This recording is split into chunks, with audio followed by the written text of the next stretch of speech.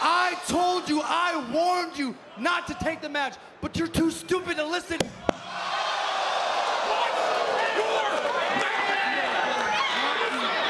Hey, this this seems like a you guys kind of problem, not a mommy and dom dom kind of problem. So I don't care which one of you is at the bash. Hell, mommy said I'll fight both of you. Wes, I'm gonna break all your records. Excuse me, champ coming through. Oh!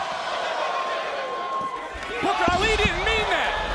Oh, yeah. Mustafa Ali was aiming for Dirty Dom.